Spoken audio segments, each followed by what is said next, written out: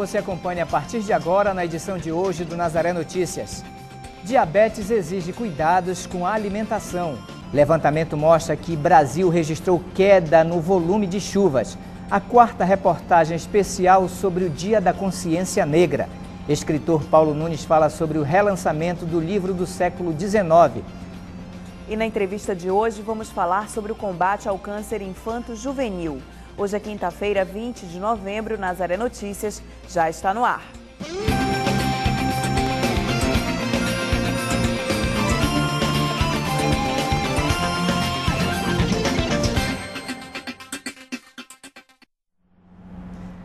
A edição de hoje e desta quinta-feira começa falando de saúde.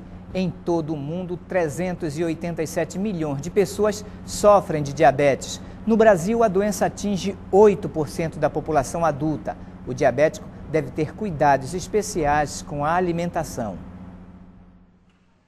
No supermercado, a diversidade de produtos chama a atenção, desde os industrializados até os naturais.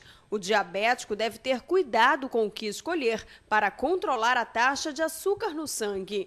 A nutricionista Francisca Oliveira nos ajuda a entender a relação dos alimentos com o diabetes. Logo de início, ela fala quais devem ser evitados. O diabético deve evitar o carboidrato simples, que são todos os alimentos que têm na sua composição o açúcar refinado, o trigo refinado. Por quê? Porque esses alimentos vão gerar um alto índice glicêmico no organismo. São alimentos que vão fazer com que a glicose dele eleve rapidamente. Portanto, ele deve estar evitando esses alimentos e fazendo uso de alimentos com o trigo integral, quer dizer, que tenha fibra na composição do alimento, porque essa fibra vai fazer com que haja uma redução no índice de glicose no organismo. Já que a base é uma alimentação saudável, vamos aos vegetais. Eles auxiliam na redução da glicose. Se ele priorizar as frutas, as verduras, os legumes e modular o consumo, porque não é a questão de frutas comer livremente, ele tem que quantificar, ele precisa ter uma regularidade no horário da sua alimentação. É o fundamental para o diabético ter essa regularidade. Aliás, não é só para o diabético. Na verdade, a alimentação do diabético é a alimentação que todos nós deveríamos fazer, uma alimentação saudável. E, acima de tudo, ter a prática da atividade física, que é fundamental para todos nós e para o diabético muito mais ainda, porque o exercício vai ajudar a controlar o nível de glicose no organismo. Aproximadamente metade dos portadores de diabetes desconhecem a sua condição. A Sociedade Brasileira do Diabetes estima que este ano 3 milhões de pacientes deixaram de ser diagnosticados no Brasil. 8% da população mundial possui diabetes. No Brasil, são 133 milhões de diabéticos. E cerca de 216 mil pessoas morrem por causa da doença aqui no Brasil. Em proporções mundiais, a quantidade de mortes equivale uma a cada sete segundos. Para evitar a doença, seu Augusto levou uma vida saudável e, mesmo aos 80 anos, mantém uma boa alimentação. A minha alimentação é das mais saudáveis possível, a minha, com certeza. Como muita fruta, muito legume, pouca carne. Existem mitos acerca dos alimentos e do diabetes. A banana, por exemplo, pode ser consumida, apesar do alto teor calórico. Não há restrições de frutas para o diabético, desde que sejam consumidas moderadamente. Então, o diabético ele pode sim usar as frutas. E a Organização Mundial de Saúde recomenda que se use de 3 a 5 porções de frutas ao dia. Veja bem que não é difícil consumir 5 frutas ao dia. Se considerarmos a questão socioeconômica, podemos optar pelas frutas que têm, é, que têm um custo mais baixo claro, e selecionar isso de acordo com a sua renda. E na comida do dia a dia também não há restrições. O arroz, por exemplo, pode ser do tipo integral, que é mais saudável. Se optar pelo tradicional, o diabético pode cozê-lo junto com jambu ou a casca da abóbora, que adiciona fibra ao alimento. As proteínas também podem ser consumidas sem excesso. São esses vegetais que vai fazer com que o que ele consuma consiga reduzir mais a glicose no organismo. Então, quando ele come o arroz, o feijão e a carne, ou o frango, ou o peixe, que está associado aos grupos diferentes de alimentos, mas esses alimentos, muitas das vezes, feitos de forma inadequada, com uma quantidade a mais de gordura, ou um, um arroz branco ao invés de um arroz integral, com a presença dos vegetais, vai fazer com que essa fibra module mais essa glicose no organismo. Então, é fundamental que se faça uso dessa salada em primeiro lugar, por sinal. Nesta manhã, um protesto dos moradores da ocupação Canaã, localizada na rodovia Mário Covas, na região metropolitana de Belém, interditou a Avenida Almirante Barroso em frente ao prédio do Tribunal de Justiça do Pará. Há dois anos, os manifestantes ocuparam um terreno que pertencia a uma construtora onde seria erguido um condomínio. No ano passado, o Poder Judiciário decretou uma ação de reintegração de posse com as famílias, como as famílias não tinham onde morar, foi determinado que ocupassem o terreno vizinho. A construtora voltou a questionar na justiça a propriedade do novo terreno e outra reintegração de posse foi determinada. Hoje, os manifestantes reivindicam uma audiência com os magistrados do tribunal. E agora nós vamos falar de educação. Termina hoje o prazo para as inscrições do processo seletivo 2015 da Universidade Federal do Pará. 124 mil estudantes já preencheram a ficha de inscrição solicitando participação no concurso. Com a proximidade do prazo final de inscrição, a direção do Centro de Processos Seletivos da UFPA, órgão que organiza o processo seletivo 2015, reforça a atenção no momento de preencher o formulário online de inscrição. Outro ponto importante é em relação ao pagamento da taxa de inscrição. De acordo com a legislação vigente, os estudantes que cursaram todo o ensino médio na rede pública de ensino ou que cursaram todo o ensino médio em escolas privadas na condição de bolsistas estão isentos da taxa de inscrição, que custa 25 reais. Os demais devem efetuar o pagamento da taxa de inscrição até o dia 21 de novembro. Porém, a inscrição destes candidatos só será homologada após a confirmação do pagamento. E agora nós vamos falar de combate à violência. A realização de uma comissão parlamentar de inquérito para investigar grupos de extermínio no Pará já conta com a adesão de 13 deputados paraenses. Agora depende de uma assinatura para atingir o número mínimo para a abertura da CPI. O pedido da comissão foi protocolado após o assassinato de 10 pessoas nos dias 4 e 5 de novembro em seis bairros de Belém. Organizações sociais e entidades ligadas aos direitos humanos também pediram a instalação da CPI. As estatísticas colocam o Pará como o sétimo mais violento do Brasil e Belém como a 23ª cidade mais violenta do mundo. A cada ano, no Brasil, são estimados mais de 9 mil novos casos de câncer infanto-juvenil. E, segundo o Instituto Nacional de Câncer, 70% das crianças com câncer podem ser curadas quando ocorre o diagnóstico precoce. Na entrevista de hoje, vamos falar sobre o combate ao câncer infantil. Não é isso, Patrícia?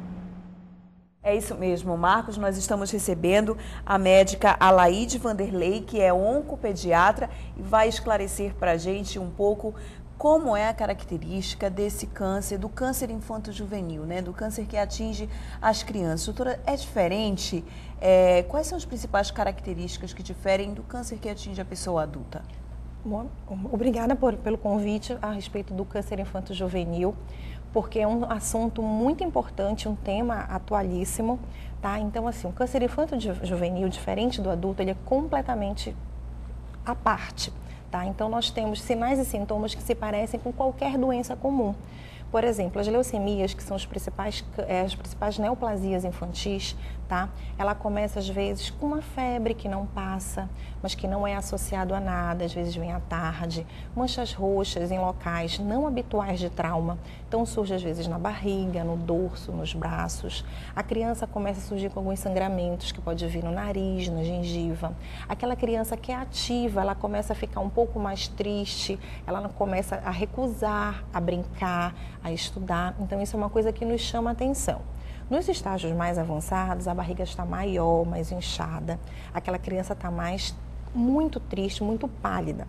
Então, se o pai se deter, que a criança está ficando com palidez, está começando a ter manchas roxas na pele, dores no corpo, tá? ele comece a observar e procure um pediatra, porque pode ser desde uma simples dengue, uma outra virose, até mesmo um quadro grave de leucemia. Uma, um outro tumor que é muito importante que a gente precisa falar é a respeito dos tumores cerebrais. Se, vocês, se a gente for jogar todas as neoplasias, o tumor de sistema nervoso central, ele é o tumor sólido mais frequente que nós temos. E, e os sintomas são bem sutis. Aquela dor de cabeça que não passa, que fica persistindo, que é acompanhado de vômitos, tá? Nas crianças menores de 5 anos, geralmente essa dor de cabeça é de manhã e os vômitos são de manhã. No adolescente, essa dor de cabeça já é mais à noite, é uma dor de cabeça que vai piorando. A nossa preocupação é porque às vezes os pais, ah não, não, não ligam, não observam, não valorizam a queixa da criança ou pensam que é outra coisa. Depois da dor de cabeça, a criança, principalmente a pequenininha, ela começa a desaprender a andar ela já andava, ela começa a cair muito, começa a largar os passos e começa a desaprender. Isso é uma das coisas que nos chamam muito atenção nas crianças menores. Já no adolescente, é aquela queda de rendimento escolar. A professora observa que as notas estão caindo, a mudança de personalidade. Infelizmente, demora tanto a chegar para nós que quando chega já chegam convulsionando, já chegam graves, já indo até para a UTI. Então é isso que a gente quer evitar. Valorizem as queixas, tá? Não pensem que dor de cabeça é só enxaqueca ou problema de visão. Pode ser um tumor do sistema nervoso central. Uma outra coisa muito comum no nosso meio é o aumento da, dos gânglios, as famosas ínguas, tá? Que em criança é normal, região de pescoço, região da virilha, mas que se essa íngua está persistindo, aumentando, ficando endurecida e sem dor, você palpa, a criança não sente dor, isso pode ser um primeiro sinal de um linfoma, que também é uma neoplasia muito importante. Tá? A gente tem uma outra também que nos preocupa, é o chamado tumor ocular, que é o retinoblastoma, que a gente só pode avaliar, é, a primeira coisa que chama atenção é o reflexo do olho de gato. Geralmente numa foto, o olho da criança fica esbranquiçado, fica, parece um olho de gato. E pode bater foto de celular, de vídeo, de tudo que está lá. Se ele estiver lá, e é um dos primeiros sinais e é muito importante, porque ele é muito curável, desde que seja diagnosticado precocemente. Agora, doutora, qualquer tipo de câncer pode atingir uma criança? Existem formas de prevenção desse, desses tipos de câncer? Infelizmente, a gente não tem como prevenir o câncer. Diferente do adulto, no câncer de próstata, no da mama, no caso da mulher, é, no câncer de colo uterino, a única forma que nós temos é a detecção precoce. Então, observem seus filhos, idas e vindas em pronto-socorro, aquela criança que não melhora, não melhora, não melhora, tem que passar pela avaliação de um pediatra, de um especialista, porque a gente não tem como prevenir. Que como o que, que acontece? O câncer do adulto, você tem a exposição ao longo da vida. O da criança não. Ela nasce com uma alteração que não tem exames para detectar essa alteração. Essa alteração é de fundo genético, tá? Lembrando que genético é diferente de hereditário. Hereditário passa de pai para filho, genético não. Às vezes acontece. E aquela alteração, se a gente der é, um estopim, der recursos, ela acaba desenvolvendo. Exemplo, o uso de dipirona durante a gestação. As mulheres gestantes tomam essa medicação. Se aquela criança tiver aquela alteração, ela pode desenvolver uma leucemia. Uso de drogas, drogas ilícitas, infelizmente, a maconha, o crack, durante a gestação, aquela criança tem muitas chances de ter desde uma leucemia como um tumor de sistema nervoso central. Nós temos que melhorar a alimentação. Para as mulheres que querem ser mães, elas têm que comer bastante verdura, legumes, tomar sucos, para ter uma, uma alimentação rica em vitamina B12, em folato, porque isso diminui a incidência de tumor do sistema nervoso central. Então a gente tem que mudar um pouco o hábito, porque a gente tem que lembrar que o papai e a mamãe vão formar uma pessoa, vão gerar um ser. Que tudo que eles fazem no corpo deles refletem durante a fecundação, durante a geração dessa criança. Agora, doutora, neste domingo vai acontecer um evento na Praça uhum. Batista Campos, que é justamente um evento de combate ao câncer infanto-juvenil. Queria que a senhora falasse dessa programação. Certo. No dia 23, a gente faz, é o Dia Nacional do Combate ao Câncer Infanto-Juvenil. O, o câncer infanto-juvenil vai de 0 a 19 anos, então a gente estende para os adolescentes. E é que a gente alerta a população, a gente tira as dúvidas, tá, lá a respeito dos sinais e sintomas os mais precoces do câncer infanto-juvenil, que infelizmente nós nos tornamos a primeira causa de óbito no Brasil nos últimos anos, é o câncer. Então a gente tem que chamar a atenção da população, dos pais, não só os pais, os professores, os cuidadores, que eles que vão observar os primeiros, a primeira suspeita. Tá? Então, é importantíssimo. É feita pela Associação Colorindo a Vida, que é uma associação não governamental de uma, que apoia a nossa casa de apoio às crianças do câncer em tratamento hoje. Como a maioria dos nossos pacientes são provenientes do interior do Pará, eles não têm moradia aqui. Então, essa associação Colorindo a Vida, ela ajuda com a casa de apoio e dá apoio. E ela está fazendo essa campanha em prol do câncer infanto-juvenil. Só para a gente reforçar, doutora, uhum. tem alguns hábitos que podem desencadear esses fatores genéticos para o câncer na criança? Sim. Alguns hábitos do cotidiano, do dia a dia, para, para os quais os pais precisam estar atentos? Sim, então, por exemplo, uma coisa muito comum na nossa região é o uso do inseticida. Quem já nunca pegou um inseticida, fez assim e fechou o quarto? Ai, à noite eu entro. O uso de inseticida tem que ser usado com cautela Pode usar, gente? Pode. A gente, infelizmente, a gente tem muito mosquito, então a gente usa inseticida, mas tem que ser usado com cautela. Não pode repetir toda hora, numa grande quantidade, porque pode levar desde uma simples alergia à criança, até mesmo tem relatos de estudos que pode desencadear leucemia na criança. As crianças, é uma coisa que a gente sempre fala, tem que ser crianças. Evitar usar esmaltes, principalmente de longa duração, com cores escuras. Por quê? Por causa do uso de chumbo, às vezes, no próprio esmalte, tá? A própria acetona, gente, ela também ela é tóxica para criança. Pode causar desde uma reação alérgica até desenvolver um câncer. Então, isso é uma coisa importante.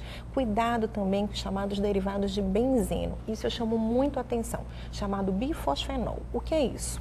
Para quem come muito fora, que esquenta as marmitas no micro-ondas, olhem se esse plástico tem bifosfenol, porque na hora que você esquenta no micro-ondas, ele simplesmente libera substâncias cancerígenas para a comida.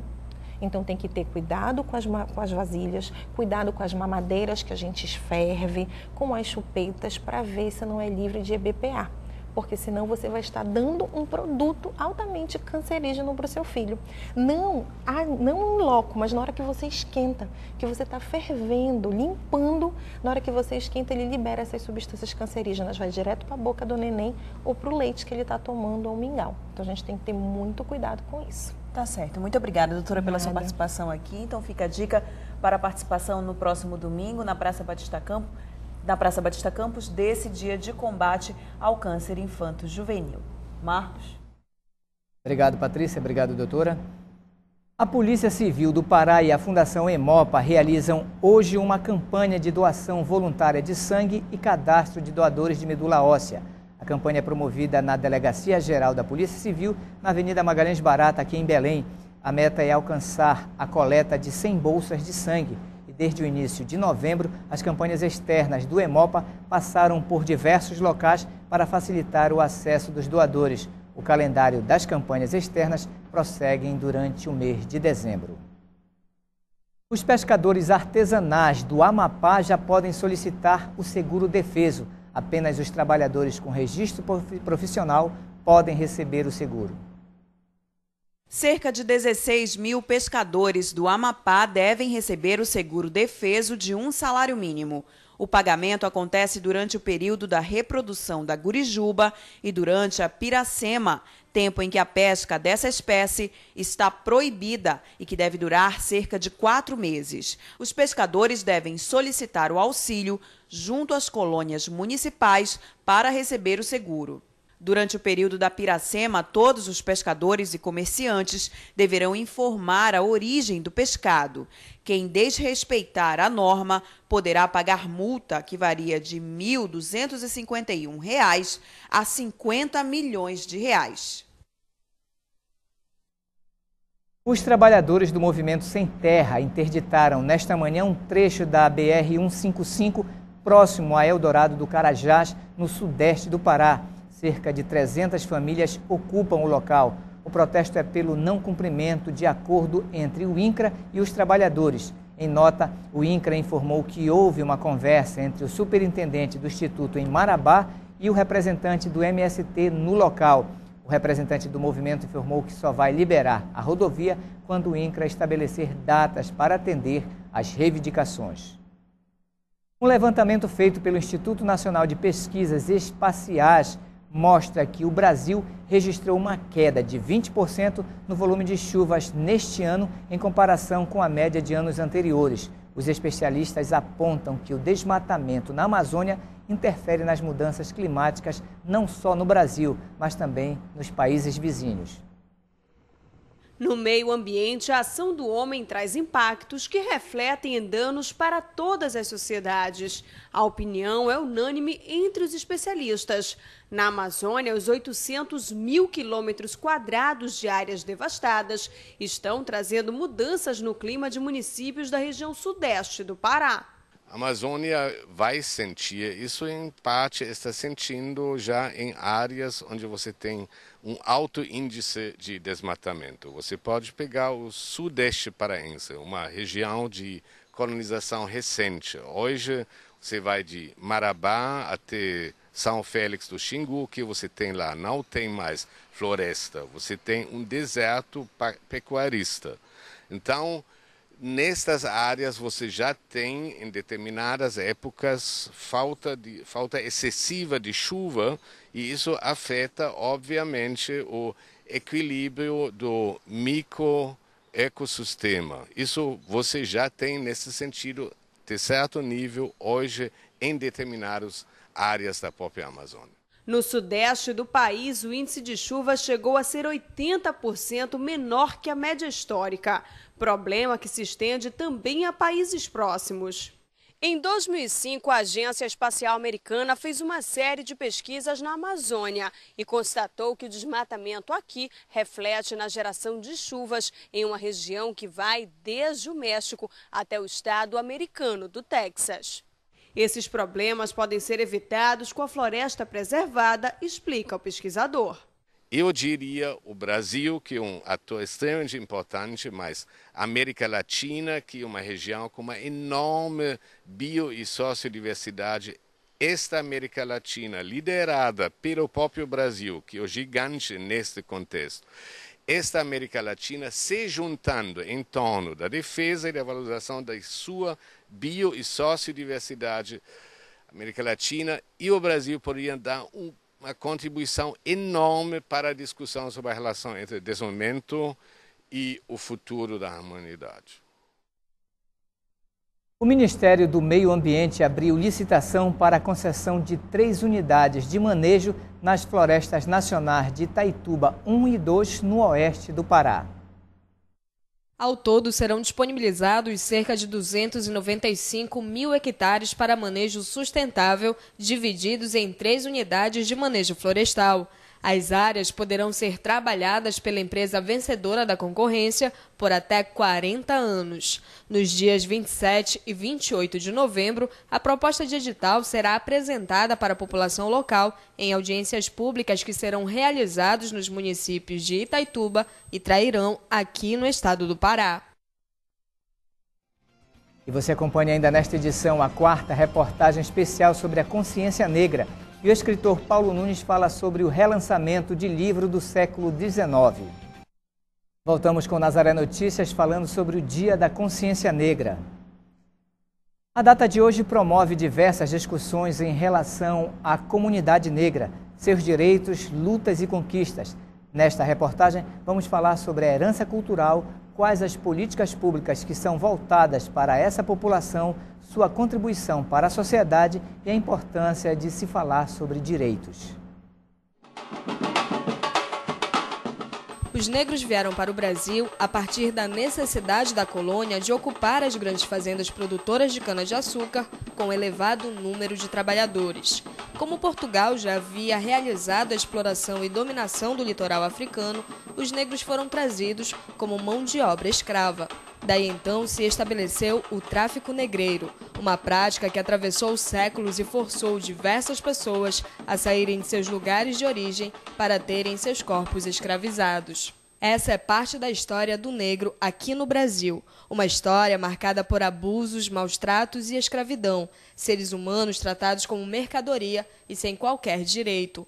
Com a abolição da escravidão e a instauração da República, os negros foram ganhando mais espaço na sociedade, mas ainda assim, e mesmo nos dias atuais, são vítimas de racismo.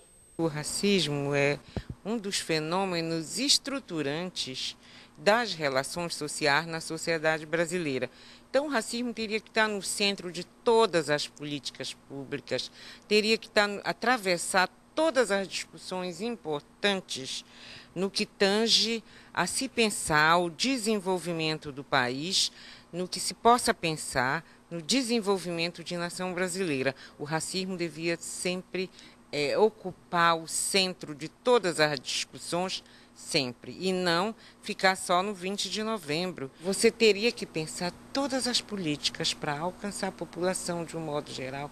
Todas elas têm que ter como foco o combate ao racismo e a eliminação da discriminação racial. Tem uma política na área da educação, para além da lei das cotas, que eu considero muito importante. E essa política é, a alteração da Lei de Diretrizes e Bases da Educação, feita pela Lei 10639, que torna obrigatório na educação básica o ensino de história e cultura africana e afro-brasileira. Essa, de fato, é uma política importantíssima, porque vai fazer com que a sociedade brasileira se conheça melhor, com que a sociedade brasileira passe a enxergar o quanto ela tem de, de africano. De acordo com historiadores, do século XV ao século XIX, a escravidão foi responsável no continente africano pelo trânsito de mais de 10 milhões de pessoas e pela morte de milhares de indivíduos que não sobreviveram às travessias marítimas.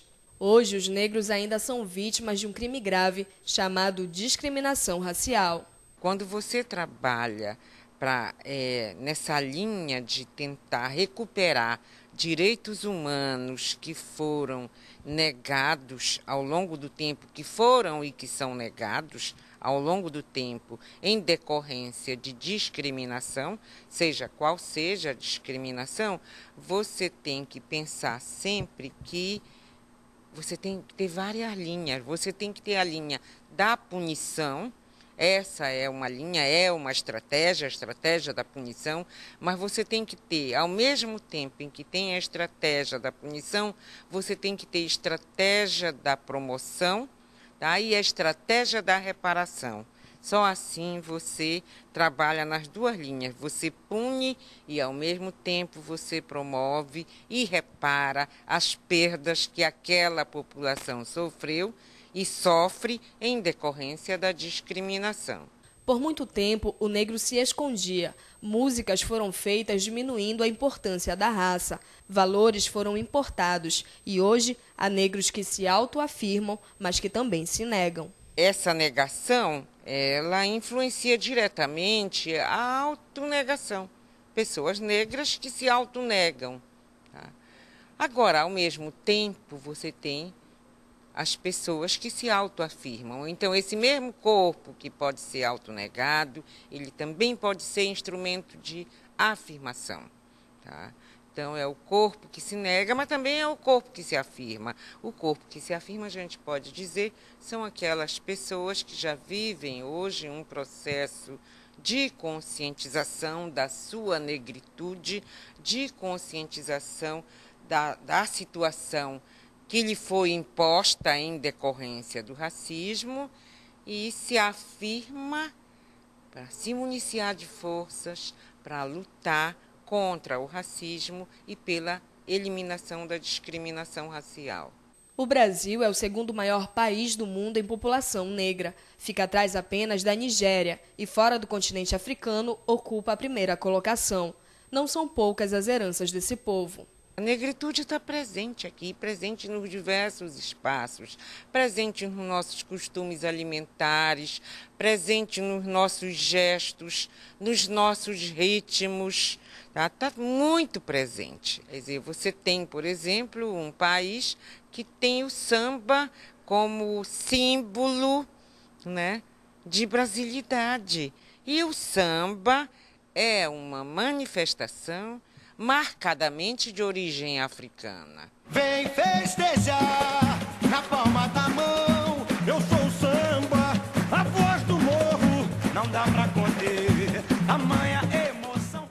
Essa é a história de um povo que sofreu séculos de exploração, tornou-se livre e procura garantir direitos humanos que lhes foram negados no passado.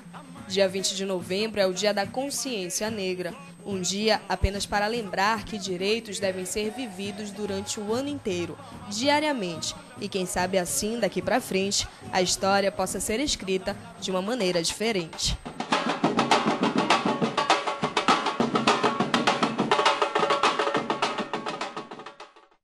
Procuradores da República de seis estados pediram que a Justiça Federal proíba a Agência Nacional de Águas a autorizar novos empreendimentos em importantes rios da Amazônia. Eles reivindicam que antes sejam criados os comitês de bacia hidrográfica, com a participação da sociedade civil, para definir os mecanismos de uso compartilhado da água e o plano de recursos hídricos de cada bacia. Os procuradores ingressaram hoje com ações em tribunais federais do Amapá, Pará, Amazonas, Mato Grosso, Rondônia e Roraima.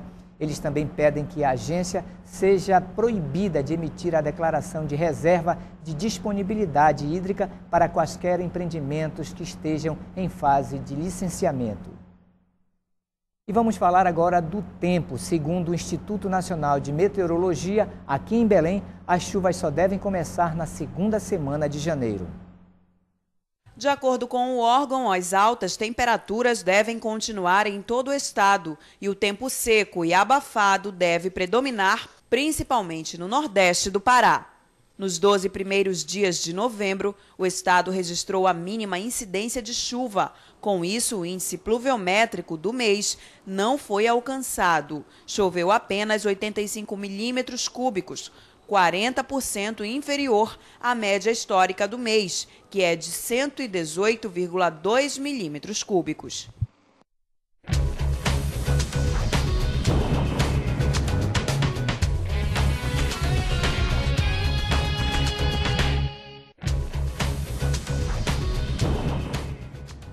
Em Altamira, no estado do Pará, o dia deverá ser encoberto e com chuviscos. A temperatura mínima será de 24 e a máxima de 30 graus. Em Salinópolis, também no Pará, a sexta-feira será de muitas nuvens e pouco sol. A temperatura mínima fica em 26 graus e a máxima pode chegar a 31. Em Macapá, o tempo ficará parcialmente nublado durante todo o dia. A temperatura mínima é de 24 e a máxima de 34 graus.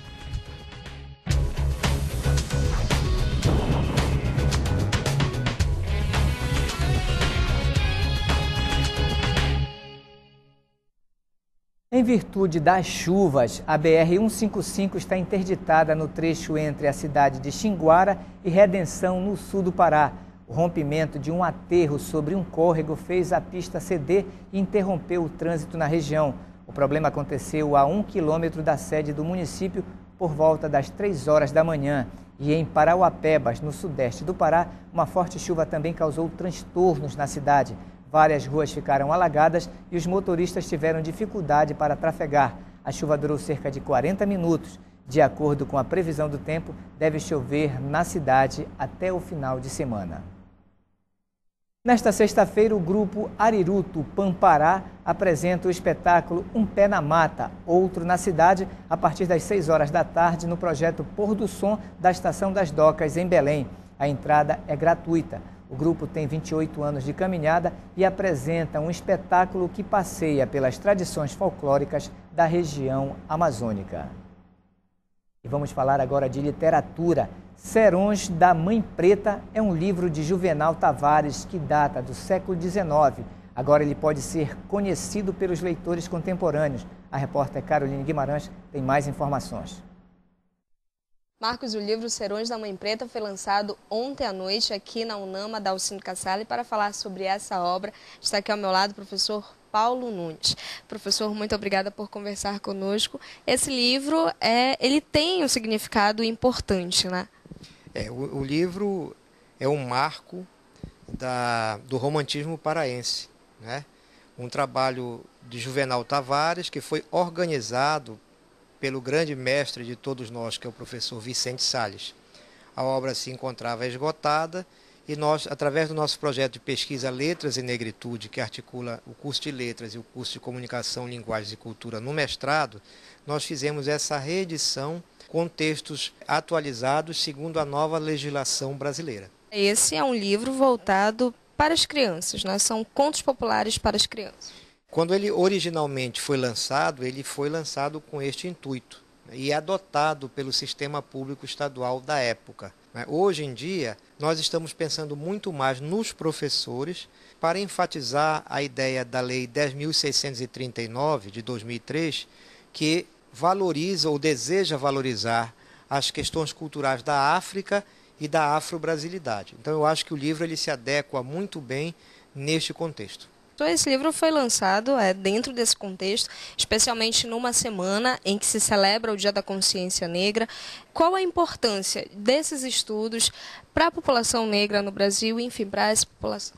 É, o, o, trabalho é uma reunião de duas ações: é, iniciação científica em letras e a consciência negra, que é do Centro de Ciências Humanas coordenado pela professora Estela Pojussi e também pela professora Célia Jacó. Né? O importante nisso é que a gente está articulando aqui na UNAMA a ideia da pesquisa, do ensino e da extensão. Por quê? De, desta maneira, a gente tenta eh, fornecer um pouco mais de material suficiente para que, através do literário, o professor tenha acesso a informações acerca eh, da África e da afrodescendência no Brasil. Então, embora de certa forma polêmico, eh, por causa de algumas informações que o Juvenal Tavares coloca, eh, ele é reorientado pelo estudo do professor Vicente Salles, que nós também tivemos a preocupação de atualizar com textos meus, da professora Elaine Oliveira, do professor Jorge Resque, da professora Rosa Assis, para, é, digamos assim, fornecer as bibliotecas que trabalham na extensão universitária da UNAMA. São bibliotecas que têm essa parceria, mas o livro também pode ser encontrado em outros lugares. É, nós vamos colocar eh, em dezembro, a partir de dezembro, a Livraria Fox, que vai, é nossa parceira também, né, vai estar lá à disposição para quem desejar adquirir o livro. Tem mais alguma outra consideração que o senhor queira fazer? O livro é uma homenagem também ao professor Vicente Salles, que é, digamos assim, quem orienta muitos dos trabalhos na área da africanidade, da negritude. Eu até costumo dizer que o professor Vicente é um grande mestre, ele é doutor honoris causa pela UNAMA. É uma forma também da gente homenageá-lo, reeditando este trabalho é, do Juvenal Tavares. Obrigada, professor Paulo Nunes, por suas informações. Essa homenagem ao professor Vicente Salles também contou com a presença da família dele aqui na UNAMA na noite de ontem. Marcos, eu volto com você aí no estúdio. E essas foram as notícias de hoje. Para dar sugestões de reportagens, ligue para a nossa central de atendimento no número 4006-9211. E se você quiser rever nossos vídeos, acesse o portal Nazaré, www.fundacionazaré.com.br ou acesse a nossa página no Facebook. O Nazaré Notícias fica por aqui. Nos encontraremos amanhã na próxima edição. Até lá!